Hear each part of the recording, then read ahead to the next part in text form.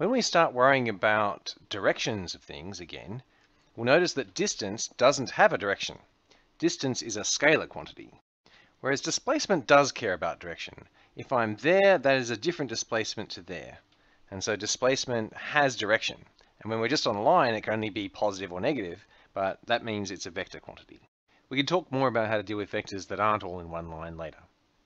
Now, if we want to talk about something moving around in time, a good way to describe that is with a graph. And so if we have a graph of position as a function of time, then if they're not moving at all, they'll stay at the same position. And if they are moving, this will have a slope. And if they change the slope, that means they're going to change their velocity. And it turns out that in physics, we make a distinction between speed and velocity.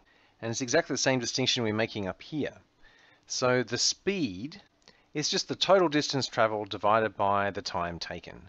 And so that's a scalar property, just like distance was a scalar property.